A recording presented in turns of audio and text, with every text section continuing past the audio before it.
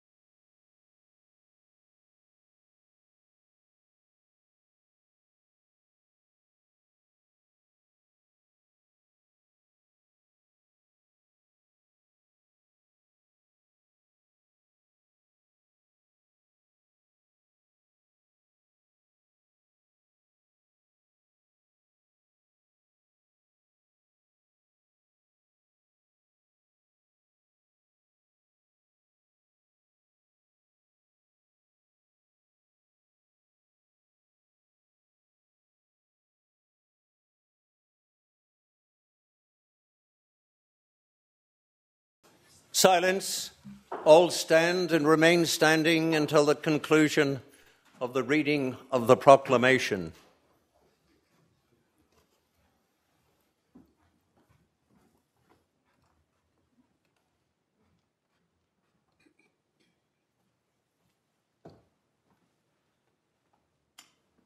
Ladies and gentlemen, the proclamation.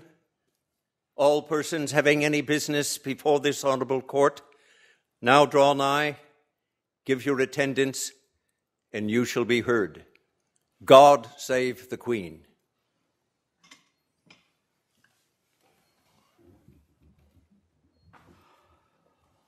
Please be seated. Admission of lawyers. Erica Jane Balillo. May it please the court, I move that Erica Jane Balillo be admitted as a lawyer of this honourable court. Let Erica Jane Balillo be admitted as a lawyer of this court. Akash Batterjee. Let Akash Bhattacharjee be admitted as a lawyer of this honorable court. Let Akash Patelji be admitted to the law of this court. James Roland Block. May it please the court, I move that James Roland Block be admitted as a lawyer of this honourable court. Let James Roland Block be admitted as a lawyer of this court. Alana Bree Condon. May it please the court, I move that Alana Bree Condon be admitted as a lawyer of this honourable court. Let Alana Bree Condon be admitted as a lawyer of this court. James Gregory Fife. May it please the court, I move James Gregory Fife be admitted as a lawyer of this honourable court. Let James Gregory Fife be admitted as a lawyer of this court. Jasmine Jade Hamadi. May it please the court, I move that Jasmine Hamadi be admitted as a lawyer of this honourable court. Let Jasmine Jade Hamadi be admitted as a lawyer of this court. Holly Mae Johnston. May it please the court, I move that Holly Mae Johnson be admitted as lawyer of this honourable court. Let Holly Mae Johnson be admitted as a lawyer of this court. Geordie Peter James Pettit.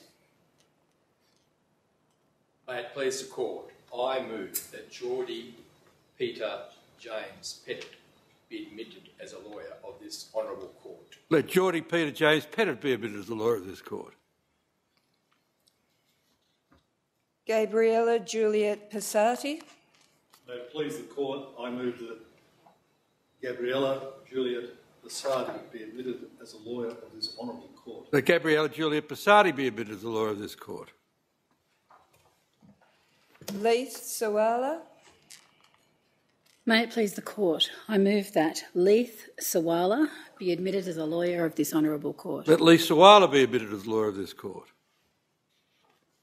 Alexander Henry Schatz. May it please the court, I move that Alexander Henry Schatz be admitted as a lawyer of this honourable court. Let Alexander Henry Schatz be admitted as a lawyer of this court. Alexander James Shepherd. May it please the court, I move that Alexander James Shepherd be admitted as a lawyer of this honourable court. Let Alexander James Shepherd be admitted as a lawyer of this court. Romy Alexandra Surtees. Please the court, I move that Romy Alexander of Surtees be um, admitted as a lawyer of this court. Let Romy Alexander Surtees be admitted as a lawyer of this court. Christina Tomey. May it please the court, I move that Christina Tomey be admitted as a lawyer of this honourable court. Let Christina Tomey be admitted as a lawyer of this court. Georgia Ailey Wiltshire.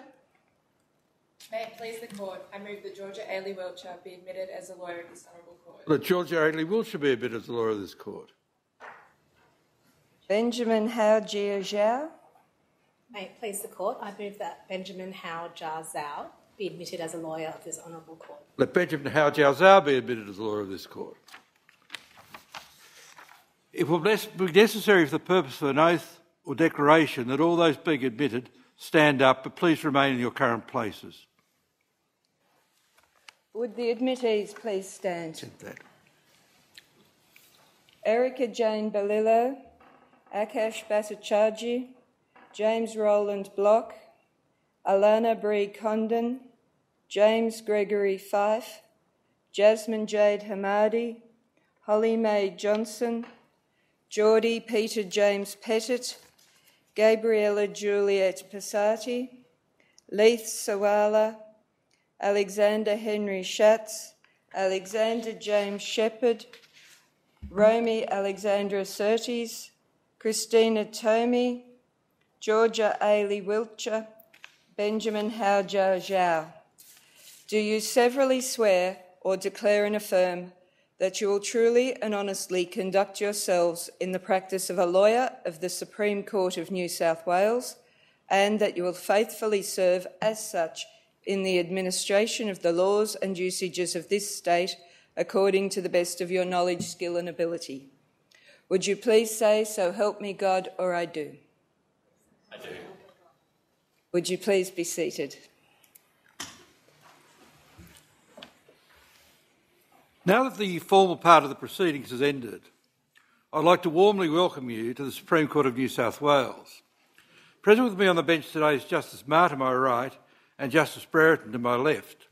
Each of their honours are members of the Court of Appeal. Together, we constitute the court that has, in exercise of its jurisdiction, admitted you to practice. As we gather for this celebration, I would like to begin by acknowledging the traditional custodians of the land on which we meet, the Gadigal people of the Eora Nation, and pay my respects to their elders, past, present, and emerging.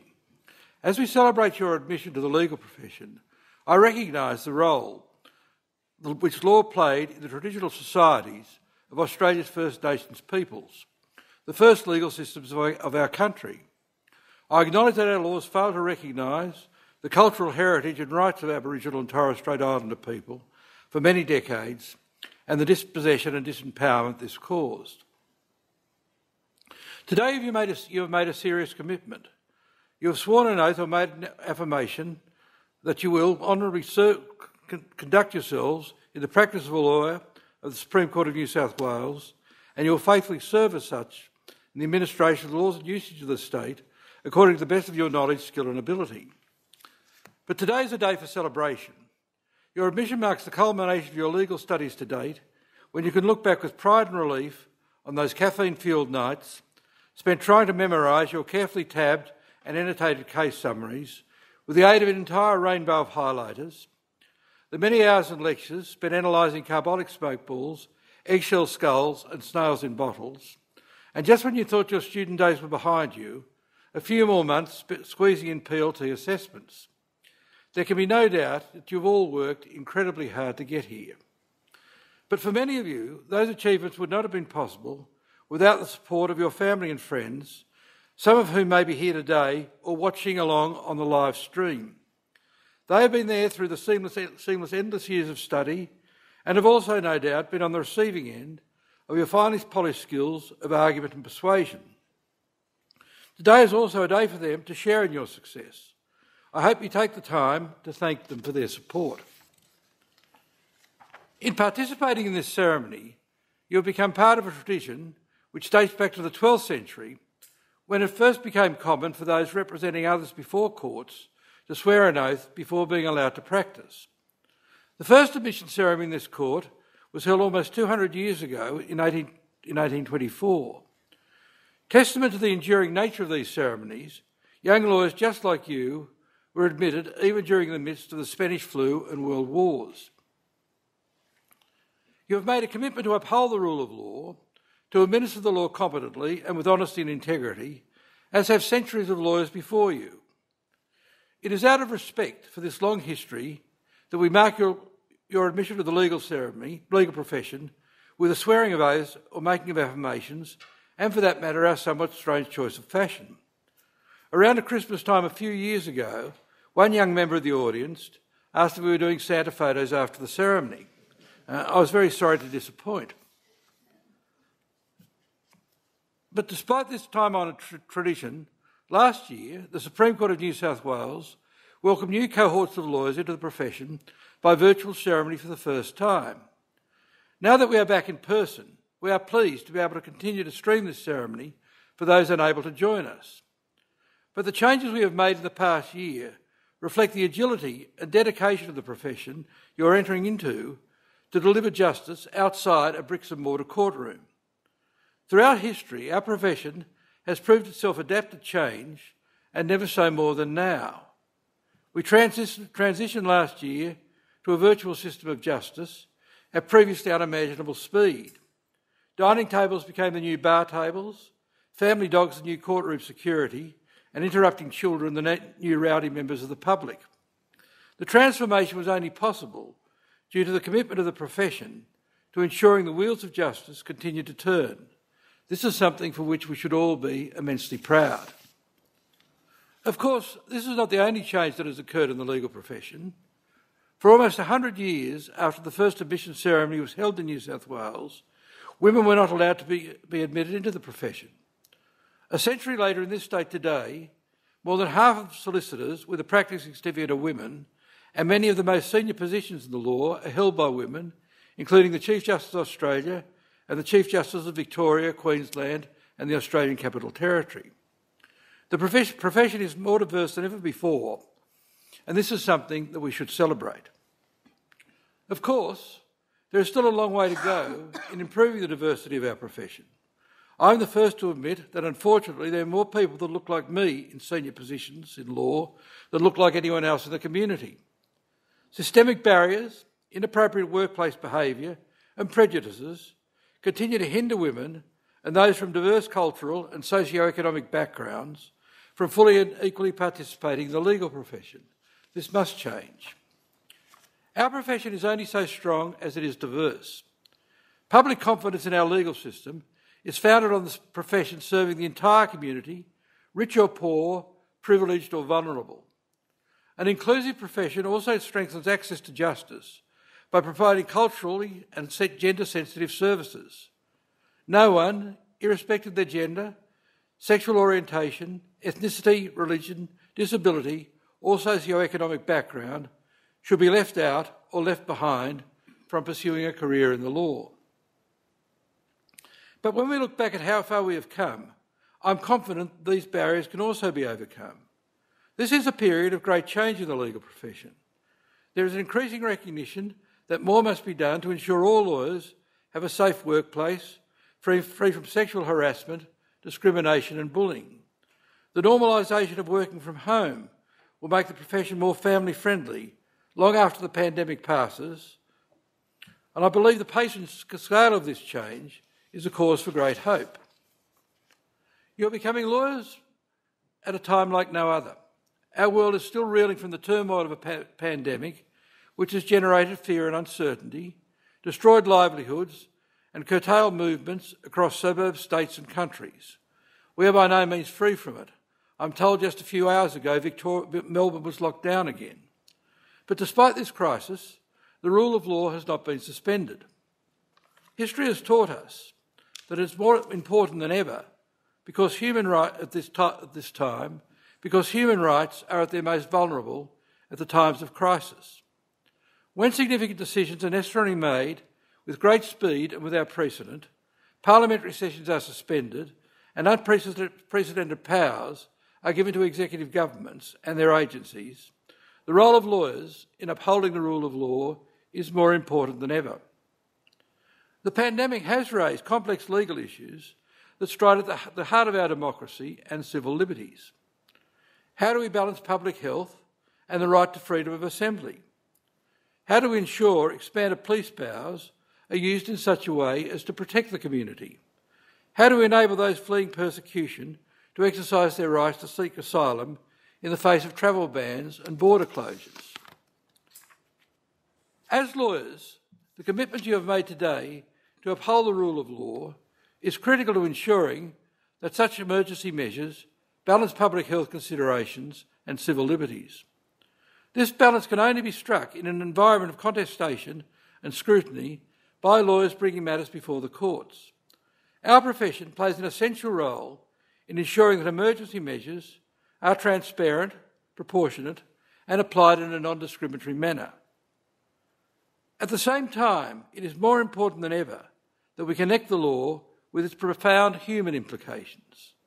The impact of the law on our lives has never been so pronounced. Lockdowns, border closures, and travel bans necessarily impact our freedom of movement and, in the process, our access to and enjoyment of many other rights. As lawyers, we have a special responsibility to uphold the rule of law by ensuring that the pandemic does not undermine access to justice. As a profession, we must be vigilant in protecting the rights and dignity of those disproportionately affected by emergency measures. We must ensure that even the most vulnerable have access to quality legal representation and to the full benefit of the law. We do this when we use our legal training to help vulnerable workers navigate their employment rights in times of illness, when we use commercial law as a tool to lighten the pressures on small businesses dev- devastated by the restrictions, and when we help survivors of domestic violence in lockdown with abusive partners access legal services. Our commitment to access to justice requires us to be particularly astute to the injustices facing Aboriginal and Torres Strait Islander communities. The Black Lives Matter movement has brought the racism, inequality, and abuses of power that have haunted our nation for so long to the forefront of public consciousness. Last year marked 250 years since Captain Cook first landed in Australia. Despite the significant passage of time, the Black Lives Matter movement has exposed that our critical, critical criminal justice system in times past and even sometimes today remains a tool of injustice for Indigenous people, who are one of the most incarcerated people in the world. This, the Black Lives Matter, Matter and the Me Too movement present a challenge for our profession to ensure that calls for change do not pass without systemic reforms. As lawyers, we are called upon to ensure that our justice system is in fact just for all. This happens when we use our legal training to challenge narratives which sustain injustice, use our advocacy skills to defend unpopular causes or clients, whether outside or inside a courtroom, and use our legal knowledge to educate others and better inform public debate.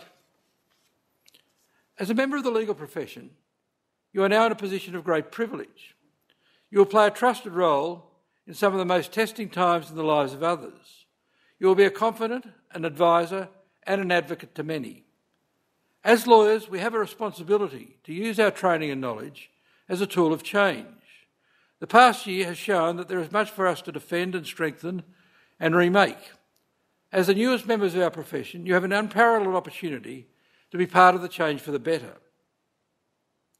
Many of you may have chosen to study law because you wanted to promote human rights, to reform policy, or to advocate for the most vulnerable. I urge you today to remember why you decided to study law all those years ago. Irrespective of whether you practice in a commercial firm, a community legal centre, at the bar, or pursue a career outside the law altogether, I encourage you to use your legal knowledge and capacity for critical thinking for the public good. Today you have joined a profession whose support and collegiality will prove invaluable. It is easy to feel isolated, especially while some of us continue to work from home. Remember that even when you are working from home, you are not working alone. Although you might find it hard to believe, I was admitted quite a long time ago. Uh, I lost my first case, and I lost many more after that. Throughout my 35 years in practice, I could always count on the other barristers on my floor to share my disappointment at the unfairness of the verdict, the slight tactics of opposing counsel, and most often, I regret to say, the obtuseness of the judges or judges before whom I was appearing. I should put on record that I didn't include either of my fellow judges on the bench in that comment. Finally, too many lawyers still feel there is a stigma in talking about their mental health. Looking after your mental health is not something to be ashamed of. There will be times in your career when your work weighs on you to an unhealthy degree, when you feel disheartened or overwhelmed. When this happens, you should turn to the enduring things in your life, like your family, partners, or friends. On behalf of all the judges of the Supreme Court, I once again congratulate you on your admission and welcome you all to the legal profession. The court will now adjourn. All stand. This honourable court is now adjourned. God save the Queen.